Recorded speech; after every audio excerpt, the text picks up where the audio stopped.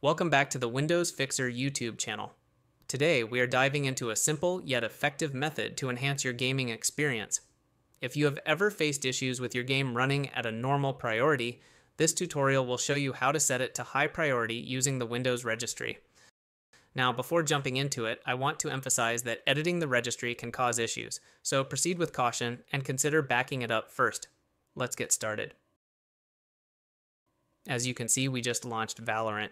If we go into the task manager, right click on Valorant, and then go to details, you'll see the priority is set to normal. Now, setting the priority to high manually every time is kind of a headache, so we'll make it automatic. Um, next step, close Valorant, or you can just minimize it. Open Registry Editor. Once it's open, go to once expanded, go to Software. Just press M on your keyboard to quickly find Microsoft, then expand it. After that, find Windows NT. Press W until you get to Windows NT, expand it, then expand current version. Now, find Image File Execution Options. Press I until you see Image File Execution Options, then expand it. But don't go further. Just right click on Image File Execution Options, go to New, and create a key. Rename it to the game you want to set a specific priority for. If you don't know the exact name, open Task Manager and you'll see it here, valorant.exe. So right click on Image File Execution Options, create a new key, and rename it to valorant.exe, then hit Enter.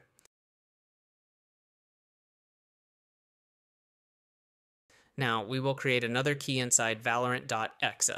Right click on it, New, Key, and name it Perf Options, no spaces.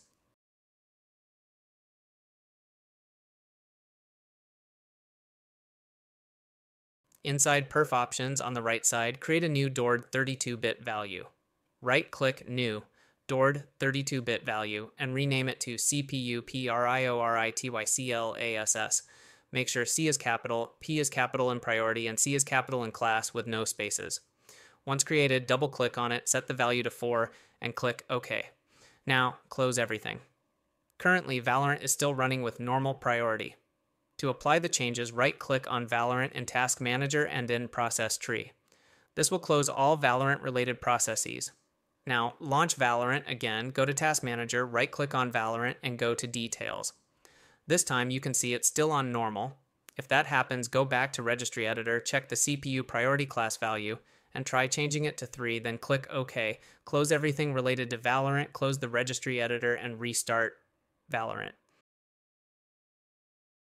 This time, open Task Manager, right click on Valorant, go to Details, and now you can see it's set to High. Now, every time you launch Valorant, it will automatically run on high priority. You can also apply this to another file. Open Registry Editor, go to Image File Execution Options, create a new key, and name it Valorant Win64Shipping.exe.